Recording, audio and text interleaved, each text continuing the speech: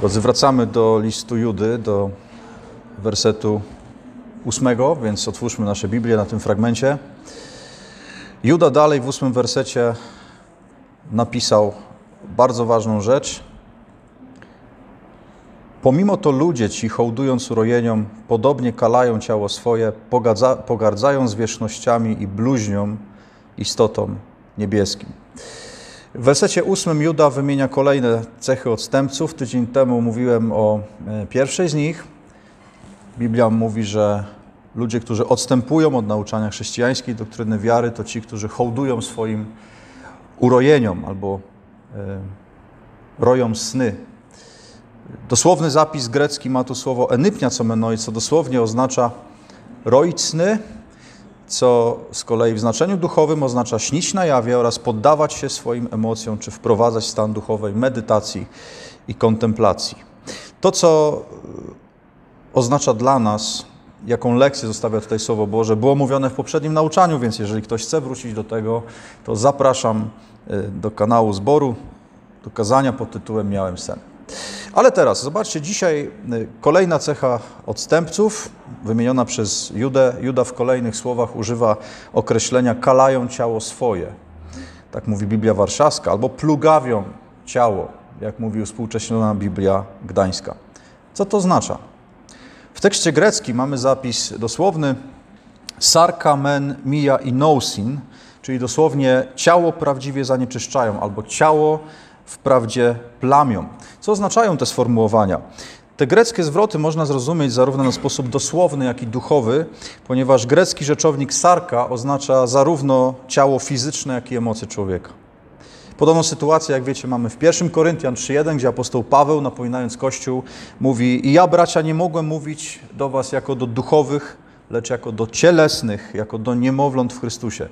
Więc określenie człowiek cielesny nie dotyczy substancji ciała, bo przecież każdy z nas obecny wie, że nasze ciała są cielesne.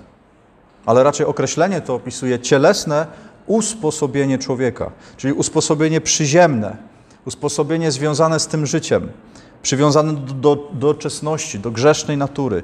Stąd, gdy Biblia mówi o kalaniu swego ciała, to w języku greckim, w języku biblijnym może oznaczać nie tylko działanie przeciwko swemu fizycznemu ciału, ale również może oznaczać działanie, które plugawi, czyli plami umysł człowieka. Zanieczyszcza jego wnętrze, kala jego emocje, czyli problem dotyka tego, co niematerialne tego, co duchowe, tego, co jest we wnętrzu nas, we wnętrzu ludzi. I gdy spojrzymy do czasów Judy, do momentu, w którym powstał e, jego list, to rzeczywiście odstępcy od wiary chrześcijańskiej kalali w tym znaczeniu swoje ciała, że chętnie dawali posłuch filozofii i odrzucali prawdziwą naukę apostołów. To właśnie dlatego hołdowali swoim urojeniom, polegali na snach i tworzyli inne wersje Ewangelii. Apostoł Paweł często przestrzegał, Oczywiście do Galacjan, chociażby w pierwszym rozdziale, wersetach od 6 do 10, kto by przychodził do was i głosił inną Ewangelię, innego Chrystusa, ma zostać przeklęty. Więc hołdując swemu cielesnemu sposobowi myślenia, ci ludzie pogrążali się w swoich cielesnych grzechach i porządliwościach. Nie przejmowali się swoim stanem duchowym, lekceważyli nauczanie o grzechu i uświęceniu, nie zamierzali dawać posłuchu prawdom, o których rzeczywiście mówił Duch Święty i przekonywał Duch Święty, ale raczej ekscytowali się manifestacjami duchowymi. Czyli odstępowali od tego, co naprawdę znaczy bycie chrześcijaninem. Bo w chrześcijaninie zbawionym jest Duch Święty i ten Duch go zmienia. Tamci ludzie zachwycali się ponad naturalnymi sprawami, cudami, objawieniami, snami czy doznaniami. Skąd wiemy, że tak było? Widzimy to po wielu ostrzeżeniach kierowanych do zborów przez apostołów niemalże równolegle w tym czasie. Jednym z takich przykładów jest chociażby list Tytusa, do Tytusa. Otwórzmy nasze Biblię na tym fragmencie. List do Tytusa. Zwróćcie proszę uwagę na pierwszy rozdział i wersety 15 i 16. Apostoł Paweł napisał, Tytusa, pierwszy rozdział 15-16. Dla czystych wszystko jest czyste, a dla pokalanych i niewierzących nic nie jest czyste, ale pokalane są zarówno ich umysł, jak i sumienie. Utrzymują, że znają Boga, ale uczynkami swymi zapierają się Go, bo to ludzie obrzydliwi i nieposłuszni, do żadnego dobrego uczynku nie skłonni. Zauważmy, co napisał Paweł. Paweł stwierdza, że w Kościele są dwie grupy ludzi. Nie ma trzech grup ludzi. czy czterech. Są tylko dwie grupy ludzi. Są czyści i są nieczyści, czyli pokalani. Co to znaczy czyści?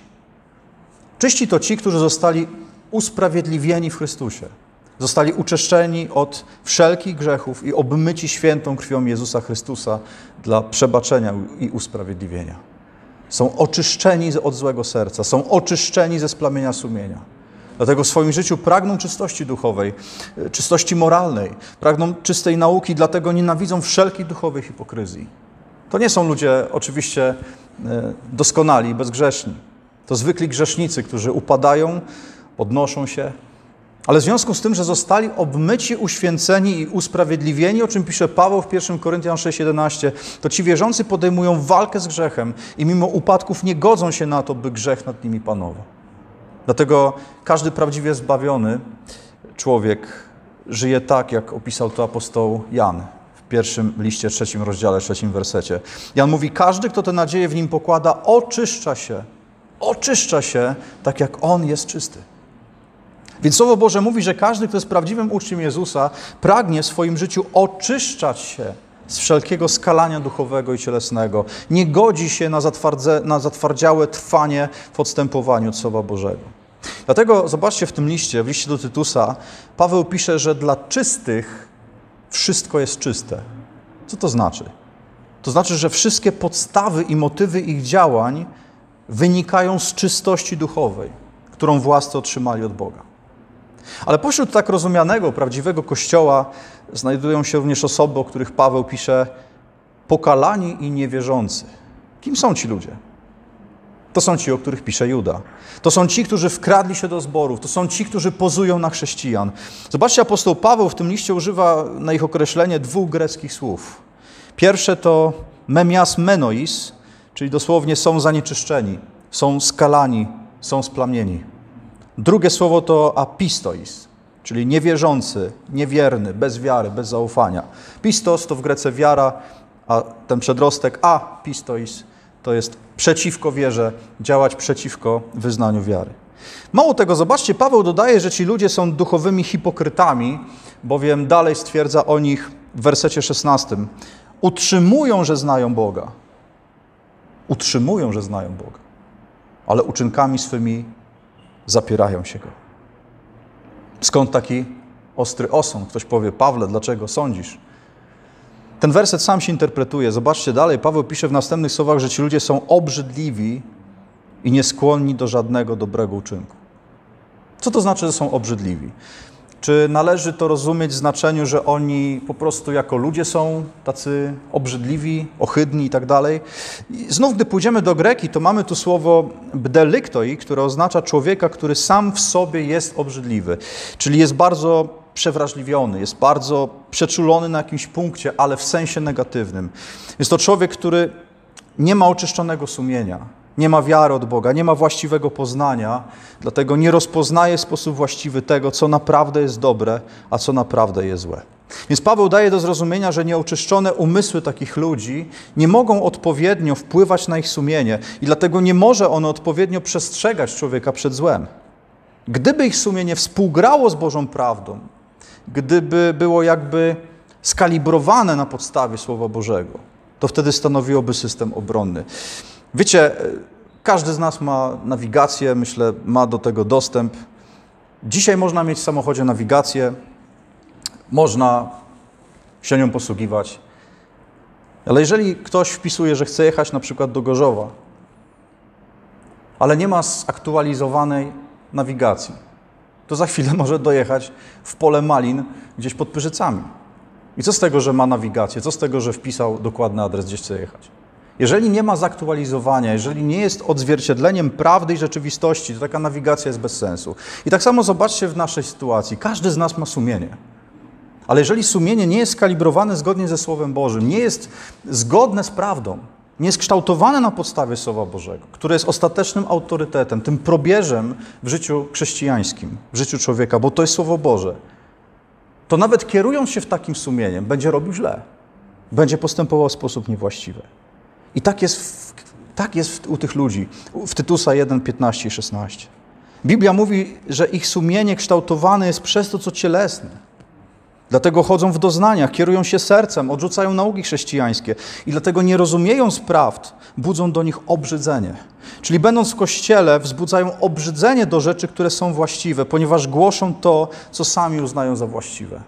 I potem odstępca jest w kościele, słyszy naukę na przykład o predestynacji. I co mówi? Ja się z tym nie zgadzam. To, to, jak ty możesz w to wierzyć? To jest jakiś kalwinizm. To, jest, to tak się nie naucza. Jezus o tym nie mówił. Dlaczego tak mówi? Bo jego umysł nie jest przygotowany do rozpoznawania prawdy i kłamstwa. Nie potrafi uznać, co jest właściwe, a co nie. Paweł mówi o osobach, które tak bardzo weszły w zwiedzione nauki, tak bardzo przesiągnęły ludzkim myśleniem, że nie widzą różnicy między prawdą a kłamstwem, a wszelka konfrontacja z prawdą wywołuje w nich reakcję obronną. Tacy ludzie wręcz wzdrygali się na prawdy chrześcijańskie, ponieważ woleli pozostać przy swoich twierdzeniach. Dlatego Biblia nazywa ich niewiernymi, nieufającymi naukom Bożym, ponieważ splamili się na tyle w swoich umysłach, że kłamstwo nazywają prawdą, a prawdę nazywają kłamstwem i herezją. W ten sposób zapierają się Boga. Zapierają się Boga, mimo że głośno deklarują, że znają Boga. I teraz zobaczcie, wracamy do listu Judy. Gdy Juda pisze o ludziach, którzy kalają ciało swoje, to ma na myśli właśnie takich ludzi. Ludzi budzących obrzydzenie, mających wypaczone sumienia, skalane umysły, którzy utrzymują, że znają Boga, ale ich wiara opiera się na wytworach ich skalanego umysłu, a nie na fundamencie Słowa Bożego. Dlatego w 16 wersecie czytaliśmy: utrzymują, że znają Boga. Oni tylko to utrzymują, ale uczynkami się go zapierają. No to lekcja dla nas, drodzy. Druga dzisiaj. Czyż w naszych czasach nie spotykamy się z tymi sytuacjami? Zobaczcie, iluż ludzi utrzymuje, że zna Boga, że zna Biblię. Zobaczcie, iluż ludzi deklaruje się jako chrześcijanie biblijnie wierzący ale przede wszystkim bardzo lekko podchodzą do doktryny. Odrzucają nauczanie doktryn biblijnych. Jak wielu ludzi dzisiaj wybiera snucie własnych poglądów na temat doktryn, zamiast podporządkować się nauczaniu Ducha Świętego, który objawił interpretację apostołom. Niestety żyjemy w czasach, gdzie ludzie zamiast bać się Boga, zamiast żyć w zdrowej bojaźni wobec Jego spisanego słowa, zamiast chodzić dzięki wierze, oni potrzebują widzieć. Oni potrzebują manifestacji duchowych. Oni zachowują się jak Tomasz. Jak nie dotknę, jak nie zobaczę, to nie uwierzę. Kiedy obserwujemy dzisiejszy świat chrześcijański, to dostrzegamy, że sny, nowe proroctwa, o których mówiliśmy tydzień temu, stanęły ponad doktrynę.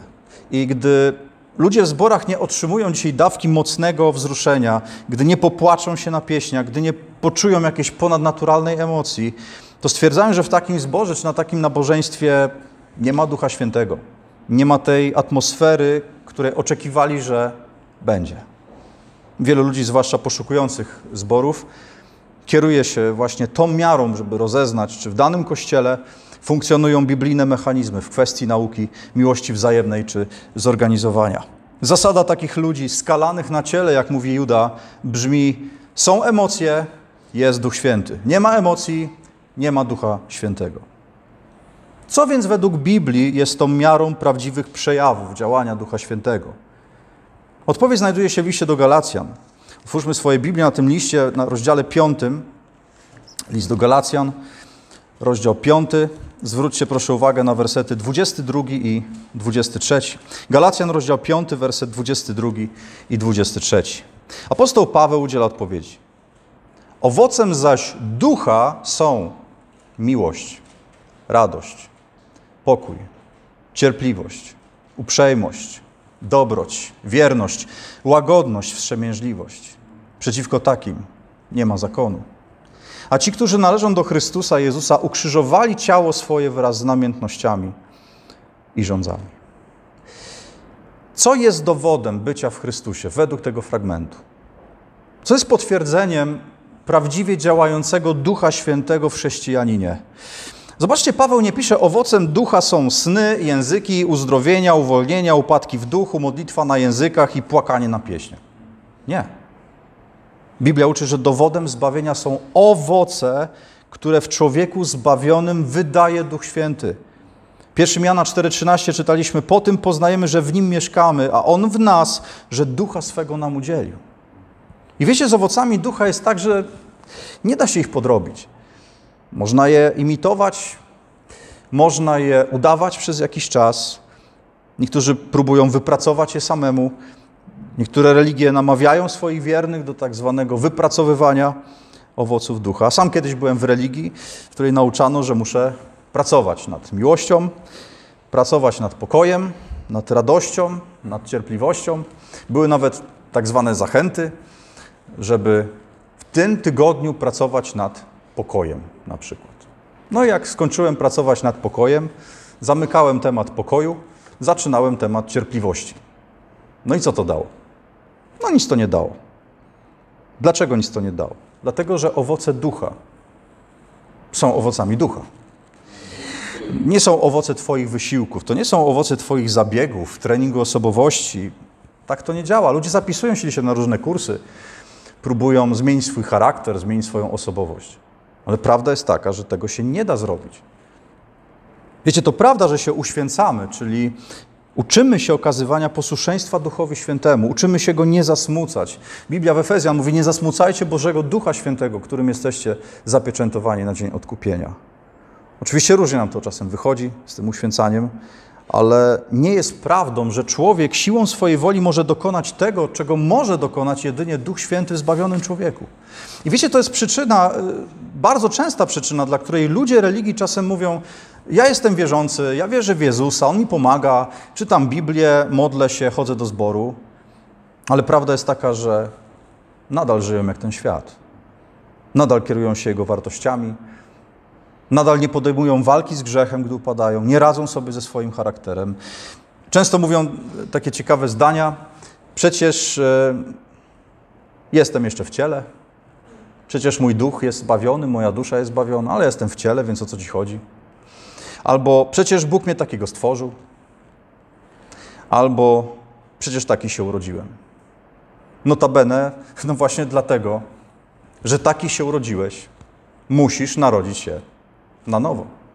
Musisz narodzić się na nowo. Wiadomo, że się taki urodziłeś. Dlatego Chrystus mówi, musisz zacząć od nowa. I to musi zacząć Bóg, nie ty. Na początku ty się urodziłeś. Okej. Okay. Ale urodziłeś się w Adamie. Teraz Bóg musi cię narodzić na nowo. Więc człowiek nienarodzony na nowo, to co pisze Paweł, przez jakiś czas potrafi być poprawny, ale z czasem, jak to się mówi, opadają maski, pojawia się prawda o człowieku. I teraz dlaczego o tym mówię? Mówię o tym dlatego, że potwierdzeniem prawdziwości działania Ducha Świętego w zbawionym, według nauczania Biblii, nie są cudowne moce, nie są duchowe manifestacje czy spektakularne dzieła, ale raczej owoce. Owoce, które Duch Święty wydaje wierzącym na drodze uświęcenia. No to teraz pojawia się pytanie, na które większość czeka. Co w takim razie z darami Ducha Świętego, o których mówi Nowy Testament? Jak rozumieć cudowne dary duchowe opisane w Nowym Testamencie? Drodzy, jako biblijnie wierzący chrześcijanie wierzymy w żywego Boga. Boga, który jest Bogiem cudów. Apostoł Paweł mówi, że kiedyś wierzyliśmy w martwe bożki. Szliśmy do martwych bałwanów, ale teraz wierzymy w żywego Boga. I Prawda jest taka, że Bóg codziennie dokonuje niezliczoną ilość cudów, o których tak naprawdę wcale nie musi nas informować. Ale my to dostrzegamy, często tego nie widzimy. Zobaczcie, czyż nie jest cudem Twoje bijące serce na przykład? Czy musisz y, tutaj siedząc na sali zastanawiać się, no i teraz niech serce moje zacznie bić jeszcze, no i liczymy, raz, dwa, trzy, cztery. No nie, ono samo bije. Czasem jak człowiek ma jakiegoś motylka czy arytmię, zaczyna się zastanawiać, co się dzieje. Trzeba iść do lekarza albo zjeść magnes. Ale generalnie nie musisz o tym myśleć. Czyż nie jest cudem, że Twoje płuca mimowolnie wykonują z godziny na godzinę wiele skurczów, oddechów, dzięki czemu możesz oddychać? Czyż nie jest cudem, że skomplikowana sieć neuronowa w Twoim mózgu wykonuje tryliony operacji na sekundę, a zużywa tylko 20 do 25 watów mocy? To wszystko to są cuda Boże. Dzisiaj lekarze mówią, jak to jest, że serce bije, że umysł pracuje. No bo mózg ma takie funkcje. Dobrze, a jak mózg jest zasilany? Skąd on to bierze? No co mówi Biblia? Biblia mówi, że żyjemy i funkcjonujemy dzięki mocy naszego Pana Jezusa Chrystusa. Jesteśmy często zalatani wokół własnych spraw, myślę, i tak nie rozmyślamy o tych wszystkich dobrodziejstwach.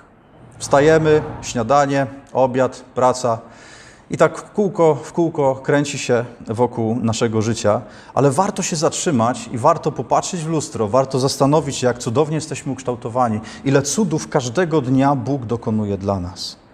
Więc jeżeli ktoś odrzuca fakt, że Bóg jest Bogiem cudów, no to ja myślę, że kompletnie nie zna Boga i, i nie uznaje Jego słowa. Dlatego wierzymy w cuda. Wierzymy w działanie Ducha Świętego, wierzymy w dary Ducha Świętego. Mówię o tym celowo, ponieważ wielu ludzi zarzuca nam, że wy nie wierzycie w dary Ducha Świętego. To jest oszczerstwo.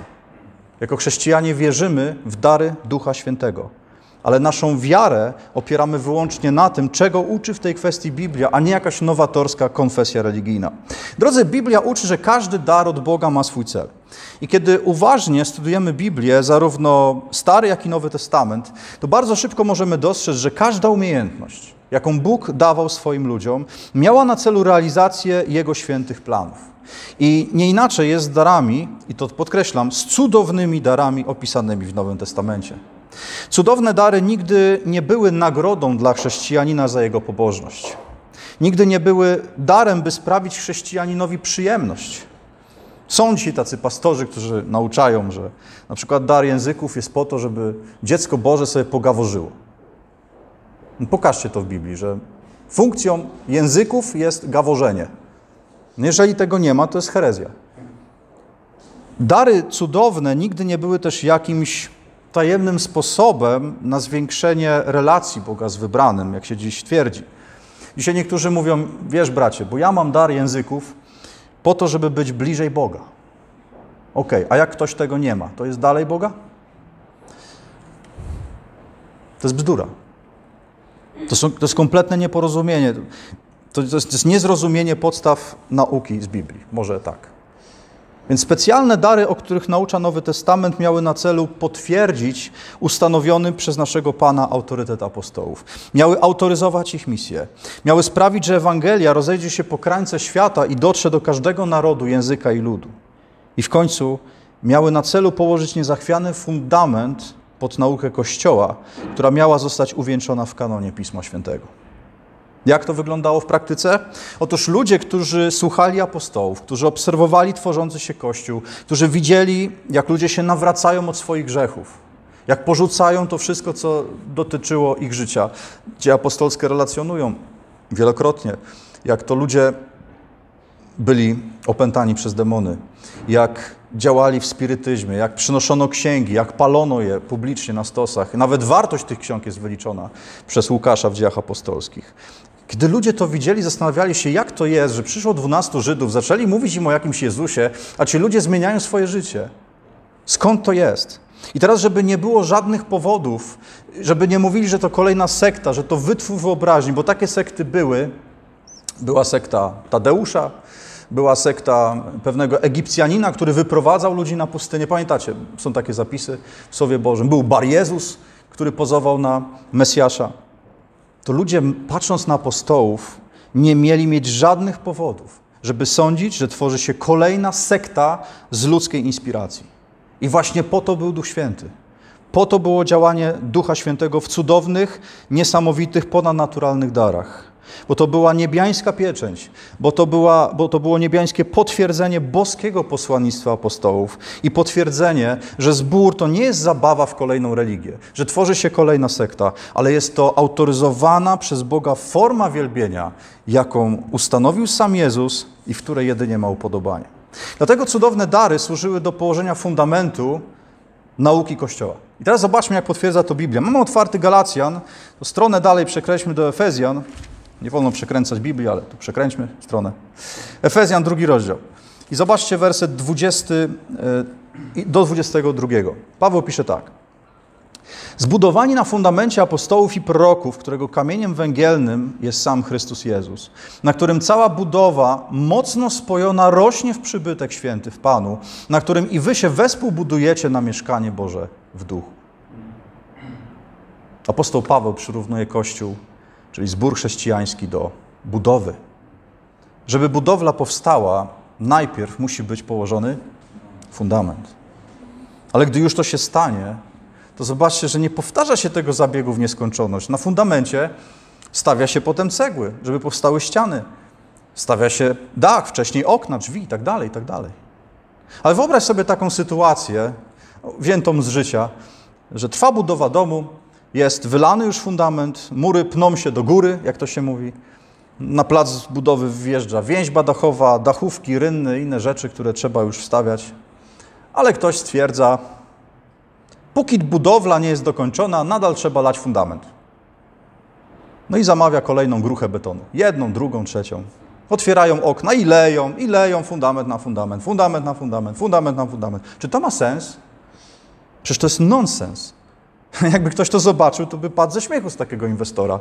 Zamiast zbudować dom, taki człowiek buduje jedną wielką, betonową bryłę fundamentu, nic poza tym. I teraz wróćmy do tego fragmentu. Zobaczcie, apostoł Paweł przyrównuje Kościół do budowy. Fundamentem jest nauka apostołów i proroków. Fundamentem jest to, czego dokonywał Duch Święty przez tych ludzi, by autoryzować boskie pochodzenie i nauczanie Kościoła. Jeżeli ten fundament został już położony w pierwszym wieku. Z kolei przyszedł czas na budowanie ścian. Zobaczcie, 21 werset co mówi? Na którym cała budowa mocno spojona, co? Rośnie. Nie jest napisane, będzie rosła przez całe y, dni ostatnie i tak dalej. Nie, ona rośnie. Ona już rośnie, bo już jest fundament. No to mam pytanie. To dlaczego po 1900 latach ktoś wpada na genialny pomysł, że cudowne dary, czyli narzędzia do budowania fundamentu, znów zaczęły funkcjonować w Kościele? Czyli co? Rozumiem, że Duch Święty miał długą przerwę, 19 wieków odpoczywał, po czym stwierdził, ok, znów wstąpię i wyleję się, tak? ale tylko na zielonoświątkowców. I tylko w USA. No to jest przecież szaleństwo. Ale dzisiejsi nauczyciele zielonoświątkowi tego właśnie nauczają w kościołach.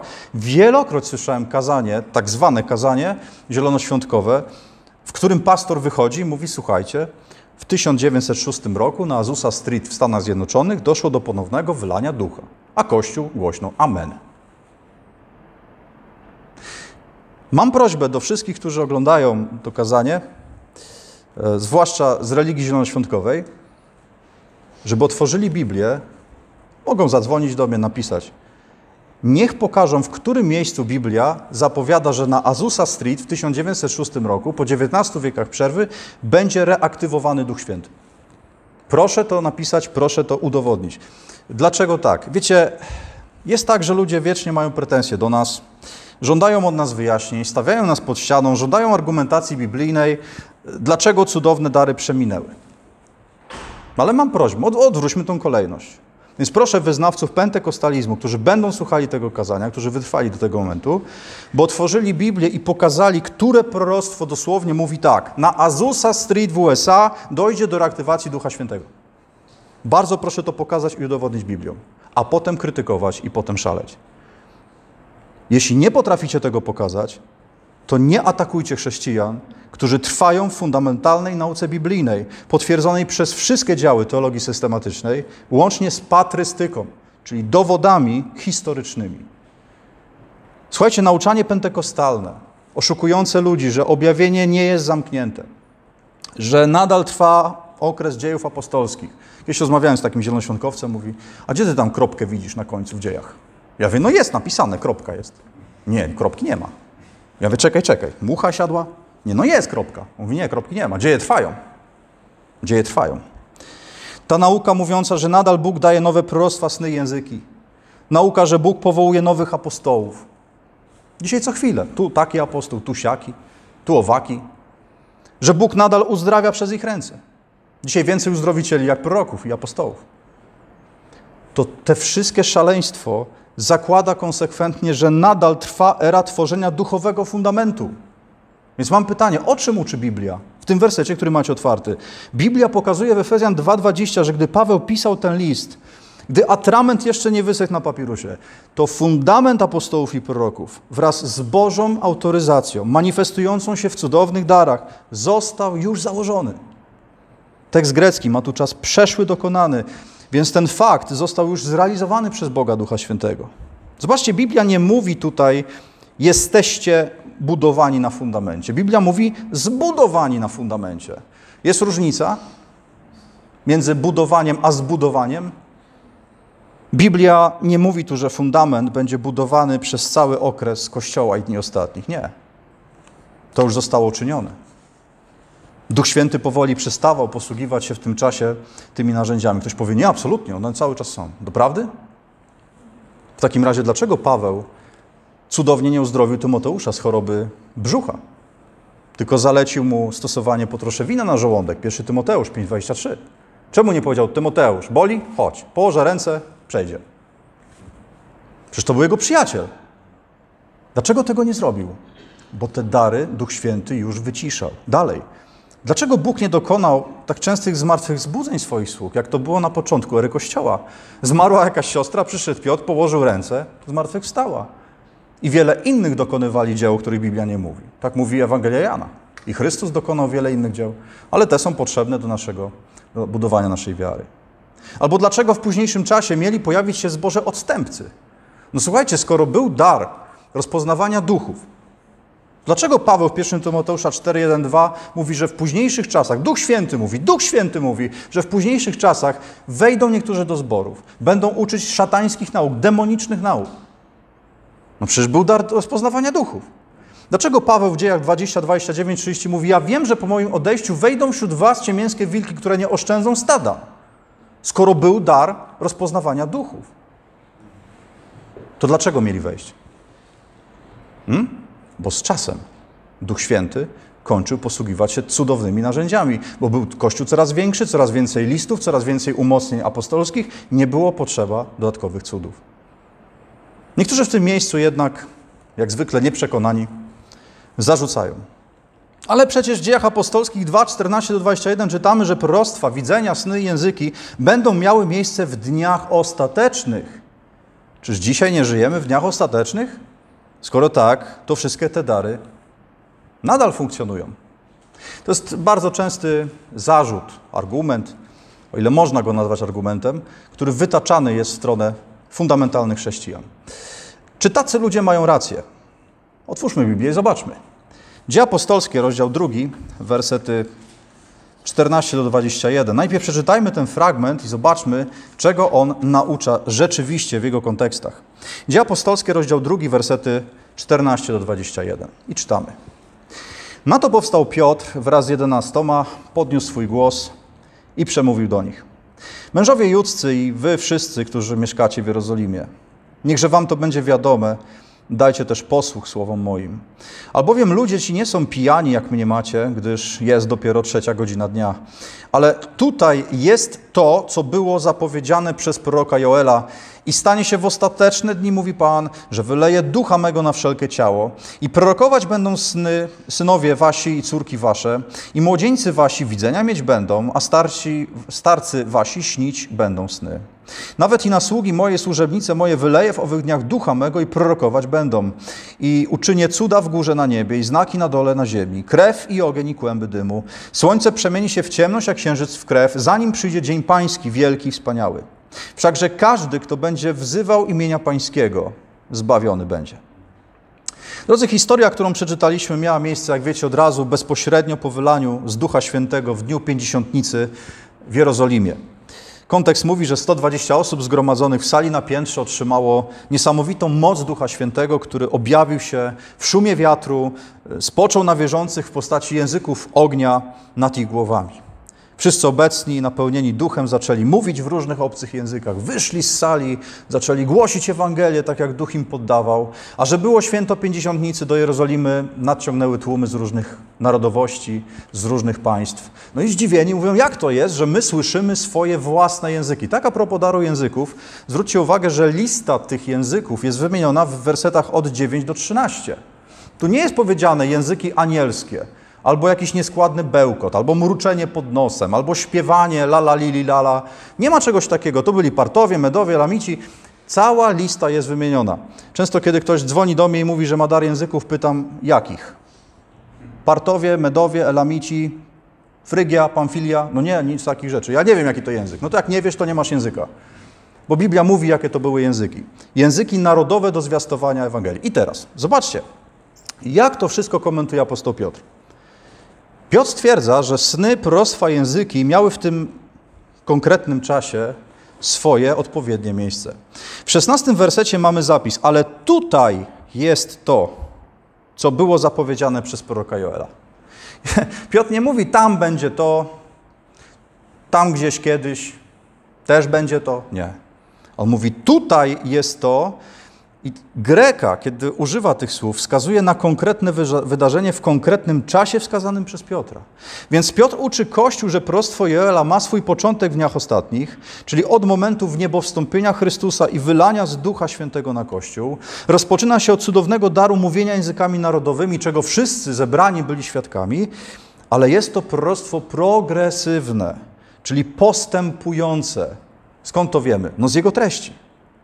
Progresywność proroctwa oznacza, że proroctwo zawiera wiele szczegółów, które krok po kroku mają się wypełnić. Gdy wypełnione szczegóły mają swoje spełnienie, to po prostu się kończą i rozpoczynają się nowe, zawarte w dalszej części proroctwa.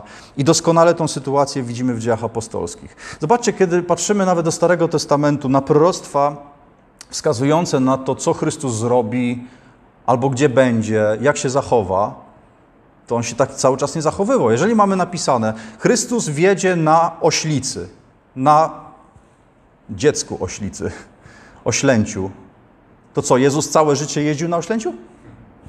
On miał wjechać w tym momencie, w danym momencie. To się wypełniło tak, skończyło się tak. I tak samo widzimy to w dziejach apostolskich. Zobaczcie, prostwo Joela istotnie rozpoczęło swoje spełnienie w dniach ostatecznych. Tak mówi słowo. Ale żaden jego szczegół nie udowadnia, że każdy znak, który ma się wypełnić, będzie spełniał się przez cały okres dni. Jest odwrotnie. Jest odwrotnie. Zobaczcie, gdy uczciwie przyjrzymy się jego treści, to widzimy, że opisane w nim cudowne dary, to jest proroctwa, sny, języki, miały na celu założyć i umocnić fundament pod nowo powstały Kościół. Przyjrzyjmy się temu. Uczniowie, zobaczcie, mieli co zrobić. Kiedy Chrystus idzie do nieba, to co powiedział? Ostatnie słowa Jezusa. Idźcie, czyńcie uczniami ludzi ze wszystkich narodów, czcząc ich w imię Ojca i Syna. I teraz pytanie, jak wtedy jedenastu niewykształconych, prostych Żydów miało pójść na cały świat i głosić w różnych językach Ewangelię? Dlatego był dar. Dar języków. Więc Chrystus nie tylko kazał coś zrobić, ale też dał narzędzia do pracy. To bardzo ważne, bo Pan Jezus jest dobrym Panem, nie wysyła ludzi do pracy bez narzędzi. Dzisiaj o tym rozmawialiśmy. Tak? Więc dar języków był narzędziem do wykonania polecenia Bożego. Dalej, zobaczcie, Kościół miał być również chroniony przed rozwścieczonym diabłem, który, jak wiecie, został zrzucony na ziemię podczas śmierci Chrystusa. Stąd potrzebny był dar rozpoznawania duchów, by Kościół przetrwał najgorsze, te pierwsze olbrzymie uderzenie diabelskie na samym początku. Diabeł atakował od razu. Za każdym razem, jak czytamy dzieje apostolskie uważnie, to widzimy, idą apostołowie, a za nim idą demony. Za nim idzie diabeł. Za każdym apostołem. Co mówił, to ten się sprzeciwia. Co mówił, ten protestował. Za każdym razem. Dlatego musiał być dar rozpoznawania duchów. Stąd Piotr się odwraca i mówi: Jesteś pełen żółci. Jest z ciebie moc związania demonicznego. Pokutuj. Skąd to widział? Dzisiaj pastorzy mówią, no ja mam dar rozpoznawania duchów. To czemu żeś nie rozpoznał tej sytuacji, tamtej i innej? Akurat tu ci się trafiło, bo żeś wyczuł, bo masz nosa, jak to mówisz, ale wcześniej dlaczego żeś tego nie wyczuł? Bo udajesz. Piotr nie udawał. Piotr jak wiedział od Boga, że, że ktoś taki jest, no to i koniec było. Dalej. Słowo Boże, zobaczcie, później miało być skompletowane do ostatniej litery, stąd potrzebny był dar proroctwa i sny. Bóg nie dał snów i proroc, żeby ludzie sobie marzyli i było im fajnie. Nie. To było po to, żeby skompletować Słowo Boże. Żeby było skompletowany cały kanon. Ale z czasem to, co było narzędziem do budowania tego fundamentu, wypełniło swoje zadanie i miało ustać, jak stwierdził apostoł Paweł w 1 Koryntian 13 rozdziale, wersecie 9 i 10. Ostatecznym wypełnieniem prostwa Joela powtórzonego w dziejach, zwróćcie uwagę do tego fragmentu. Co ma być? Czytamy krew, ogień, kłęby dymu, zamiana słońca w ciemność, y, księżyca w krew. Czy Chrystus nie mówił o tym w 24 rozdziale Mateusza, że zanim przyjdzie, będą właśnie te znaki na ziemi i niebie? Hmm? Czyli o co tu chodzi? Prostwo zapowiada wielki ucisk. Wielki ucisk, po czym na ziemię ma wrócić Jezus, by zabrać swój Kościół. Mamy więc do czynienia z szerokim proroctwem progresywnym, z proroctwem rozłożonym w czasie, którego wypełnienie nie spełnia się natychmiast w jednym momencie, którego wypełnienie nie rozciąga się w każdym szczególe, podkreślam, na każdy dzień dni ostatecznych. Nie. Ale pewne szczegóły dzieją się w jednym czasie, kolejne szczegóły w innym czasie. I tak jak zobaczcie, w pierwszym wieku słońce zamieniło się w ciemność? Nie. Czy księżyc zamienił się w krew? Nie. Czemu? Bo była to kwestia przyszłości. I Kościół, który słuchał tego proroctwa, mówią, aha, to teraz tego nie ma, mamy to, to znaczy, że nasi bracia w późniejszych czasach będą to widzieć. I teraz odwróć sytuację. Tak samo w naszych czasach. Mowa w obcych językach, prorokowania, sny, one nie mają już uzasadnionego biblijnie miejsca dzisiaj, bo to jest kwestia przyszłości. My jesteśmy po tej drugiej stronie, my już to przeszliśmy, jesteśmy już tam. Dlatego też musimy patrzeć na tamte czasy, że to były takie znaki w tamtym czasie, teraz są takie. I przed nami jest koniec, przed nami jest wielki ucisk, przyjście Pana, pochwycenie Kościoła. Więc pewne znamiona proroctwa się już wypełniły, a inne dopiero nadejdą. Tak musimy patrzeć na proroctwa. Dlatego twierdzenie, jakoby fragment z dziejów 2, 14, 21 dotyczył w całości współczesnego, dzisiejszego, w XXI wieku Kościoła, tylko dlatego, że występuje tam określenie dni ostateczne, nie ma żadnego uzasadnienia egzegetycznego. Stosując wszelkie zasady egzegezy, hermeneutyki, nie ma żadnych przesłanek do wyciągnięcia wniosku, że cudowne dary nadal mają funkcjonować w takiej mierze jak w I wieku. Ten fragment w żadnej mierze tego nie potwierdza. Jeżeli ludzie się z tym nie zgadzają, twierdzą inaczej, mają prawo, nikt nie zabroni błądzić, nikt nie zabroni głosić herezji. Ale musicie wiedzieć, jeżeli się z tym wszystkim nie zgadzacie, musicie wiedzieć, że w tym momencie łamiecie wszelkie zasady egzegezy biblijnej, nie bierzecie pod uwagę szerokich kontekstów, ale również przeciwstawiacie się oczywistej historii Kościoła, gdzie naoczni świadkowie, żyjący po setnym roku naszej ery, zaświadczają w swoich dziełach, że cudowne dary ducha po śmierci apostołów przeminęły i nie funkcjonowały dalej w Kościele. Podkreślam, cudowne dary – nie te inne dary, które są, dar mowy, wiedzy i tak dalej, zarządzania, o którym mówi apostoł Paweł, one funkcjonują, ale te cudowne po prostu ustały, bo tak potwierdza też historia. Po setnym roku historia też mówi, że Kościół chrześcijański kierował się już wyłącznie, tylko i wyłącznie czym? Skompletowanym kanonem, Słowem Bożym. Dlatego było przepisywane w językach, rozpowszechniane i tak dalej. Po to były te dary, by skompletować Słowo Boże. Wtedy, jak zapowiadał Paweł, nadszedł czas doskonałości objawienia Bożego. Ten czas doskonałości, o którym czytamy w 1 Koryntian 13 rozdziale, to nie jest wtedy, kiedy Pan wróci. I wtedy będziemy. Nie, nie, nie. Czas doskonałości nadszedł wówczas, gdy Biblia, objawienie Boże było skompletowane, było doskonałe. Dlatego apostoł Paweł Potem napisał, że Słowo Boże, całe Pismo jest pożyteczne nauczanie i tak dalej, żeby człowiek Boży był jaki? Doskonały. Doskonały. Wystarczy połączyć kropki. Doskonałość jest wtedy, kiedy masz całe Pismo. Jak nie ma całego Pisma, nie ma doskonałego objawienia. Jak Pismo, pismo zostało skompletowane, mamy doskonałe objawienie Boże, na którym możemy wyłącznie polegać. Natomiast y, kiedy patrzymy do historii, to każde przejawy nowych manifestacji duchowych były słusznie traktowane w pierwotnym kościele jako herezję i odstępstwo. Ci ludzie byli wyłączani z kościołów, byli wyganiani z kościołów. Żaden zdrowy nauczyciel Słowa Bożego na przestrzeni wszelkich wieków, łącznie z reformatorami, nie nauczali kościoła o powrocie do cudownych darów ducha, ponieważ każdy zdrowy nauczyciel i pastor doskonale wiedział dzięki studiowaniu Biblii, do czego były potrzebne te dary.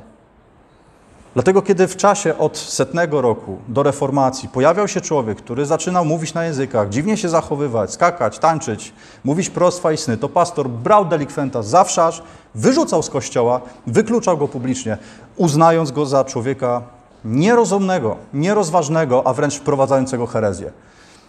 Przydałaby się taka konsekwencja dzisiaj. Dzisiaj się mówi, nie, to jest inna opcja, Niektórzy mówią pizza protestancka, jeden lubi z y, tym, z ananasem, drugi z y, ketchupem czy jakąś inną pieczarką. Każdy ma wybór. Ważne, że pizza. Oj, coś strasznego. Zobaczcie, w czasach reformacji ogłoszono y, pięć głównych prawd, które jakby wyraża cała doktryna chrześcijańska, zarówno Nowego, jak i Starego Testamentu. Kiedy Kościół się oczyszczał w czasach reformacji z tego plugastwa katolickiego, z tego wszystkiego zakłamania i herezji, reformatorzy ustalili pięć rzeczy. Po pierwsze, sola scriptura, tylko Pismo Święte. Po drugie, sola fide, tylko wiara.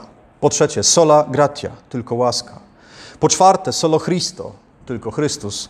I po piąte, soli deo gloria, tylko Bogu chwała. I teraz, jeżeli zgadzamy się z tymi hasłami, bo nie da się nie zgodzić z tymi hasłami, kiedy czytamy Słowo Boże, e, to nie można ich łączyć z nowatorskimi naukami ruchu charyzmatycznego. No jeżeli mówisz sola scriptura, czyli tylko Pismo Święte, no to nie możesz jednocześnie twierdzić, że oprócz wystarczalności Pisma potrzebne są nowe proroctwa, sny, wizje, objawienia, języki, by utwierdzić siebie i innych wierze bo pismo mówi samo o sobie, że czyni człowieka doskonałym. Czy jest coś mocniejszego od bycia doskonałym? Stąd sola scriptura.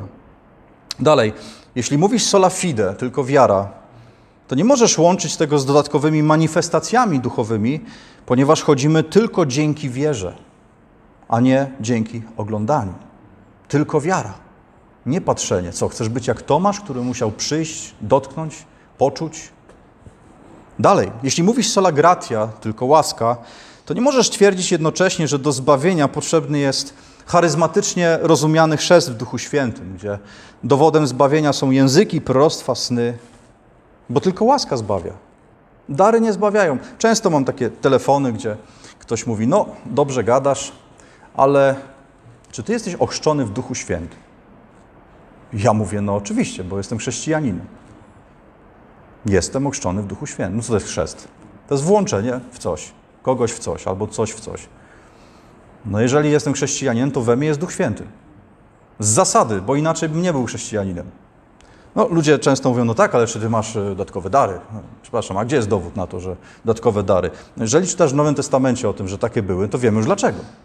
Bo Kościół musiał być uzasadniony. Dzisiaj jest tak, że w nas zamieszkuje Duch Święty, jesteśmy ochrzczeni w Duchu Świętym, my w Nim, On w nas, jesteś chrześcijaninem. Inaczej nie mógłbyś mówić o sobie, że jesteś uczniem Jezusa. Inaczej nie byłoby tych owoców, które Duch Święty w tobie wydaje. Więc chrzest w Duchu Świętym nie objawia się wcale w naszych czasach cudownymi darami, tylko objawia się przemienionym życiem, pełnym owocu Ducha Świętego. Jeśli mówisz solo Christo, tylko Chrystus, to znów nie możesz łączyć e, tego z dogmatami charyzmatycznymi, ponieważ wszelkie skarby mądrości i poznania są w kim? W Jezusie Chrystusie. Paweł mówi, w nim znajdują się wszelkie skarby mądrości i poznania. Nie w cudownych darach. Dar ci tego nie da, że coś zrozumiesz.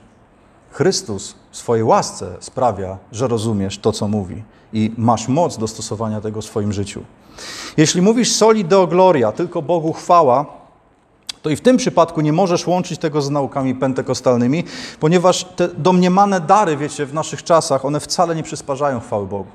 Prawda jest taka, że one akcentują człowieka, one akcentują znowu jakieś doznania, ale nie oddają chwały Bogu. Raz z zasady, że to są fałszywe podróbki, że to są rzeczy najczęściej z ciała. Czasem nawet mają podłoże demoniczne, więc y, tu trzeba uważać. Jeszcze bardziej, ale te rzeczy nie przysparzają Bogu chwały. One najczęściej wbijają w pychę i zarozumialstwo rzekomych obdarowanych. To jest to samo, co było w pierwszym liście do Koryntian. Tam akurat były prawdziwe te dary. Dzisiaj są imitowane, a i tak ludzie się kłócą, kto ma większy dar i kto potrafi coś więcej uczynić. Dlatego nauczanie ruchów przebudzeniowych, tak zwanych, pentekostalnych, różnego rodzaju charyzmatyków są w jawnej sprzeczności z ortodoksją prawdziwego, pierwotnego Kościoła zawartą w pięciu sola. I wiecie, to podkreślano w reformacji. Tego nauczano w czasach, gdy charyzmatyczne odstępstwo dotarło do Europy i każdy pastor po prostu przed tym ostrzegał. Nie było sytuacji, gdzie pastor wpuszczał do zboru takich ludzi i mówią, to są twoi bracia, wszystko jest w porządku. Absolutnie. To było nie do pomyślenia w tamtych czasach. Dlatego w czasach reformacji nie powstał ruch zielonoświątkowy. Tylko dopiero znacznie później, 400 lat po reformacji, no, chyba się zaczęli nudzić niektórzy Słowem Bożym. Potrzebujemy znowu mocy, znowu znaków, no i sobie wymyślili, że tak ma znowu być, ale bez żadnej egzegezy, bez trzymania się Słowa Bożego. Drodzy, boska autoryzacja dzieła apostołów i proroków po prostu się dokonała. I dlatego Słowo Boże zabrania nam rościć sobie prawa do nowych proroctw, do proroczych snów, do nowych wizji, czy do imitowania wspaniałego daru mówienia obcymi językami, który to dar był boskim narzędziem do zwiastowania Ewangelii w I wieku. To, co dzisiaj się dzieje w tych religiach charyzmatycznych, to jest zwykłe oszustwo, to są podróbki. Powiem więcej, to jest perfidne oszustwo i fałszerstwo uderzające w Boga, obrażające Ducha Świętego. Dlaczego?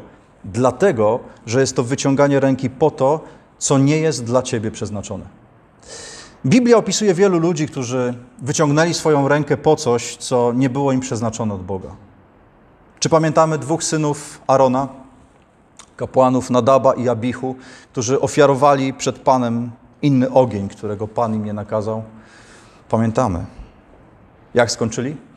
Trzecia Mojżeszowa 10.2 mówi, że wyszedł ogień od Pana i spalił ich żywcem. Nie było dyskusji. Chcieli ognia z nieba? Dostali ogień z nieba. Notabene przydałoby się czasem dzisiaj, żeby ogień z nieba spadł. I tak kilka próbek Bożej mocy, żeby ludzie sobie zobaczyli, że nie wolno kpić sobie z Ducha Świętego. Czy pamiętamy dwóch synów Helego? Kapłanów Hofniego i Pinechasa, którzy wyciągnęli swoją rękę po dary ofiarne, które lud składał Bogu. Jak skończyli? Pierwsza Samuela 4,17 mówi, że zginęli z rąk Filistynczyków. Czy pamiętamy Dawida, który wyciągnął rękę przeciwko prawu zakazującemu dokonywać spisu ludności? Jak to się skończyło? Druga Samuela 24:15 mówi, że przez jego nonszalancję, no bo ja mam ducha, bo ja tutaj jestem pełen ducha świętego, 70 tysięcy mężczyzn straciło życie z ręki Boga, dotknięci zarazu. Bóg mówi: wybierz sobie karę, masz trzy. Sam sobie wybierz. Wybrał zarazę. 70 tysięcy ludzi. Czy pamiętamy Uzę, który wyciągnął swoją rękę, by złapać skrzynię przymierza? ratując ją przed, przed upadkiem. Jak skończył? Druga Samuela 6, 7 mówi: Rozpalił się gniew Pana na Uzę i zabił go tam Bóg za to, że wyciągnął swoją rękę ku skrzyni i umarł tam przy skrzyni Bożej. Nie było dyskusji. Czy pamiętamy Ananiasza i Safirę, którzy podawali się za pełnych Ducha Świętego wierzących? Czy pamiętamy, jak chcąc oszukać apostołów, w istocie okłamali Ducha Świętego? Piotr mówi, nie ludziom skłamaliście, lecz Bogu, Bogu Duchowi Świętemu. Dzieje apostolskie, piąty rozdział, werset 5, 10 mówią, że oboje padli trupem. Najpierw Ananiasz, potem padła trupem Safira i przyszli diakoni, zabrali, pogrzebali. I koniec. I dalej słowo mówi, lud padł, na lud padł strach. Obserwowali ich, ale bali się do nich przyłączyć, bo z Duchem Świętym nie ma żartów. Czy pamiętamy, jak Szymon Czarnoksiężnik chciał nabyć dary Ducha Świętego, był pod wrażeniem duchowych manifestacji. Przyszedł do Piotra, otworzył portfel, mówi: No to ile za ten dar? Bo ja też tak chcę.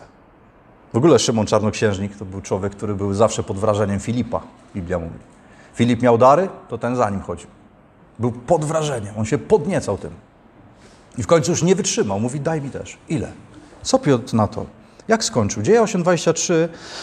Piotr mówi do niego, że jest o nieprzemienionym sercu. Jest pełen gorzkiej żółci, tkwi w więzach nieprawości. Szymon musiał się nawrócić. To nie był człowiek nawrócony. On był po chrzcie, ale on się nie nawrócił. On musiał pokutować, żeby nie zginął jak wcześniej Ananiasz i Safira. Czego uczą nas te reakcje?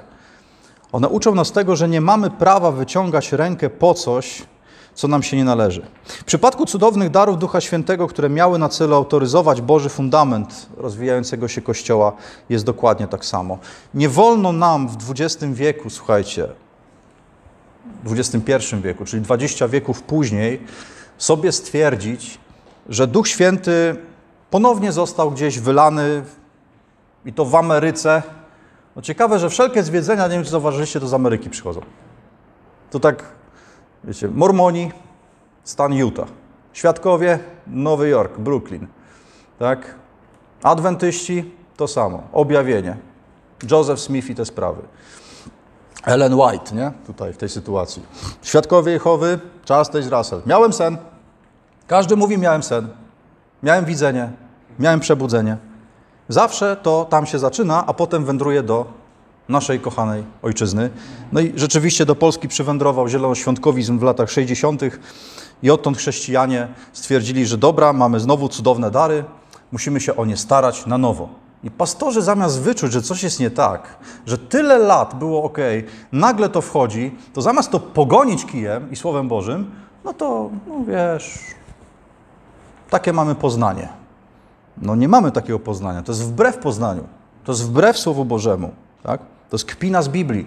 Jak się czyta stare kazania polskich pastorów, w latach 40., 50., 60., są na to dowody, możecie znaleźć w internecie, to za każdym razem, kiedy pojawiał się jakiś cyrkuśnik w kościele i zaczął machać rękoma, kłaść się, mówić, że ma sny, mówić, że ma proroctwa, coś tam pod nosem mówić, że ma języki, to delikwenta wykluczano z kościoła. I wszyscy się bali. Dzisiaj wszystko jest ok. Wszystko jest ok. To jest to, co apostoł Paweł mówi, że w późniejszych czasach Duch wyraźnie mówi, że wejdą ludzie nauczający nauk szatańskich, nauk demonicznych. Nie będą trzymać się słowa. Będą chodzili w emocjach, w snach, doznaniach. Kochani, co więc nam daje nauczanie o darach Ducha Świętego, bo tych darów już specjalnych darów, cudownych darów nie ma, bo one służyły jako fundament, to co nam to daje dzisiaj? Ty dzisiaj czytasz Biblię, to co ty z tego masz? To nauczanie, kochani, daje nam pewność, że to, co trzymasz w ręku, to, co czytasz codziennie, to nie jest zwykła książka.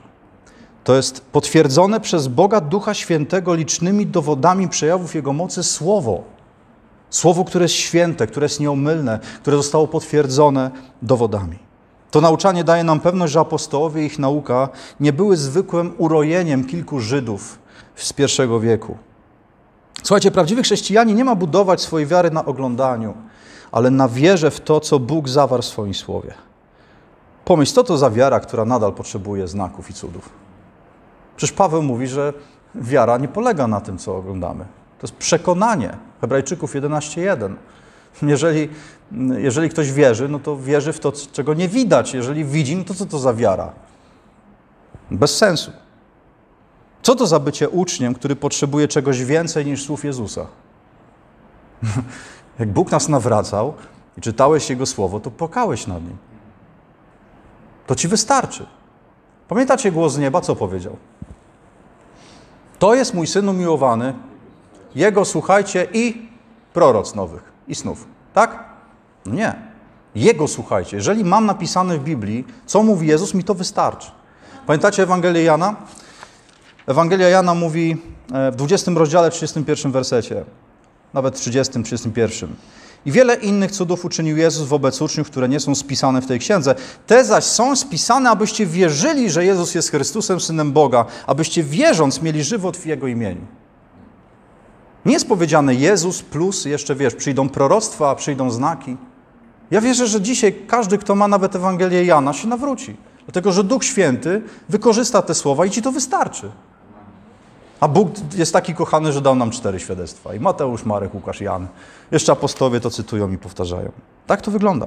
Wiecie, gdy Pan Jezus zapowiadał dzieło Ducha Świętego, jeszcze do Jana, chyba moja ulubiona Ewangelia, Jana 6, 16 rozdział, zobaczcie, w 13 do 15 powiedział tak, lecz gdy przyjdzie On, Duch Prawdy, wprowadzi was we wszelką prawdę. Czy to jest napisane, że będzie was wprowadzał cały czas do końca dni ostatnich?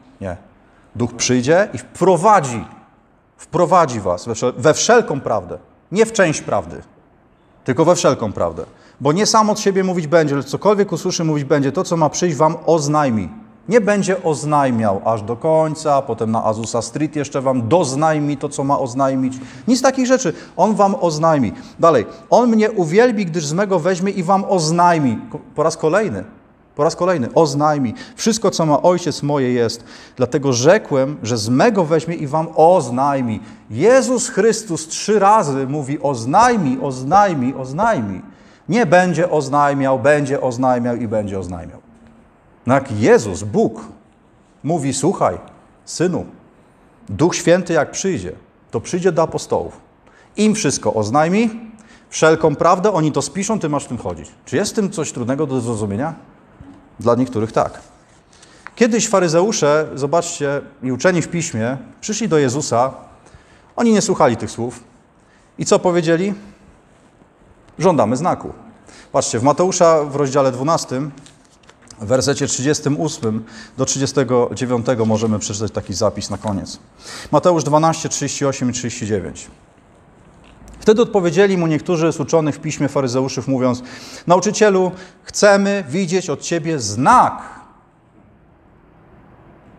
Pierwsi zieloni. Sorry, musiałem. On odpowiadając, rzekł Pokolenie złe i cudzołożne znaku żąda. Ale nie otrzyma innego znaku, jak tylko znak Jonasza proroka. Kto jedynie według słów naszego Pana żąda znaków? Żeby wierzyć, żeby mieć dowód. Mało tego, pokolenie złe i cudzołożne. Pokolenie złe i cudzołożne. I tu zobaczcie, wracamy do myśli głównej, do tego nauczania z Judy 8. Taka wielka kramla do początku. Dziś przeczytaliśmy, że odstępcy kalają ciało swoje, czyli zanieczyszczają swoje życie, swoje umysły, swoje serca fałszywymi naukami. Ci ludzie nie potrafią rozeznać, co jest prawdziwą nauką, a co fałszywą nauką. Zamiast słuchać tego, co rzeczywiście naucza Jezus, czego rzeczywiście naucza Biblia, co potwierdza historia Kościoła, oni nadal potrzebują znaków, cudów, emocji i doznań. Myślę, że dla prawdziwego Kościoła Jezusa jest to ważna lekcja. Bóg przypomina nam dziś po raz kolejny, drodzy, że naszą wiarę mamy budować wyłącznie na Słowie Bożym. Nie możemy jakby wczytywać naszych przekonań do Biblii, ale musimy wyczytywać nasze przekonania z Biblii, czyli wyciągać z Biblii właściwe podstawy dla naszych wierzeń. To jest podstawowa nauka chrześcijańska. Dlatego w kwestii działania Ducha Świętego, drodzy, nie jest ważne to, co twierdzą o tym ludzie. Nie jest ważne to, jakie mają doświadczenia, jakieś swoje prywatne odczucia w tej kwestii. Ludzie czasami odpowiadają takie piękne świadectwa, piękne w cudzysłowie, no i Duch Święty przyszedł, to mi powiedział, ja się poczułem błogo, nie wiem, jeden lewitował, drugi tańczył, inny robił fikołki, ale tak się słyszy, słyszy w internecie. Słuchajcie, nie jest ważne to, co ludzie czują, bo to są znowu emocje, ale ważne jest tylko to, o czym naprawdę uczy w tej sprawie całościowe nauczanie Słowa Bożego. Nie tylko wyrwane słowa z 1 Koryntian 14:4, nie tylko wyrwane słowa z dziejów 2:17. Mówimy o całościowym nauczaniu Biblii. Pamiętajmy, że każdy werset wyrwany z kontekstu jest powodem do pretekstu. Stare chrześcijańskie przysłowie, to jest prawda. Tak było w pierwszym wieku. Faryzeusze czemu za Jezusem chodzili? Chcieli złapać go na słowie, nie na kontekstach, na słowie. Bo jak złapiesz kogoś na słowie, to może z nim zrobić wszystko. I tak dzisiaj robią chrześcijanie. Czy diabeł nie cytował pisma? Z kontekstem czy bez? Przecież jest napisane, pyk i werset. I co z tego?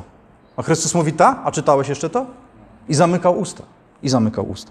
Dlatego nie zachowujmy się, kochani, jak pokolenie złe i cudzołożne, które znaku żąda, bo wystarczająca ilość znaków danych przez Boga już została dana.